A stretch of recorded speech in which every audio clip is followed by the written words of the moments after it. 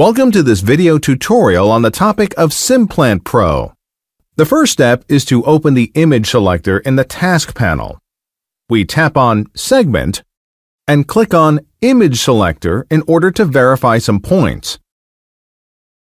Here we check if the anatomy of the images is correctly selected. As we will plan an implant position in the lower jaw, the selected mandible is fine. Then we check below if the orientation of the images is correctly set. The letters T, B, L, and R stand for top, bottom, left, and right. In the axial view, the letters A and P stand for anterior and posterior. Last, we make sure that the slice distance is not higher than 0.5 millimeters. If everything is correct, you can move the red line on the images at the left side to set the active volume to be used in the implant planning.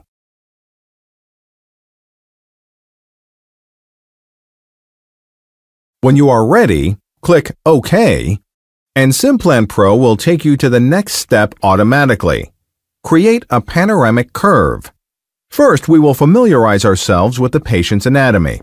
To do so, please use the scroll bar on the right side of the image to scroll up and down through the axial images.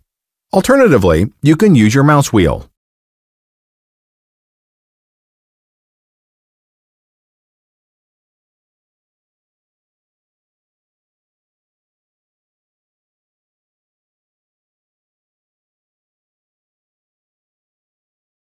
By clicking the left mouse button, we will be placing seven points to create the panoramic curve. These points will be placed centered in the anatomy, both vertically and buccolingually. First, we tap on the left foramen mandibulae. If necessary, scroll through the anatomy.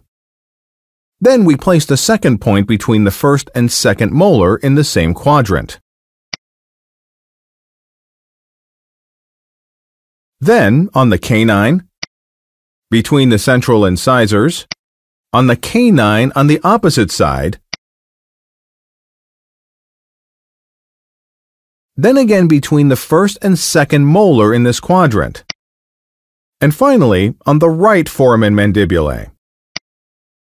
A right click after the last point has been placed confirms the curve and guides us back to the window with the four views.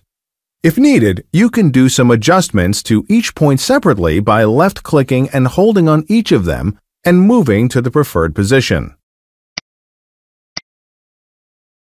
Thank you very much for your attention. We would like to wish you every success when working with SimPlant Pro.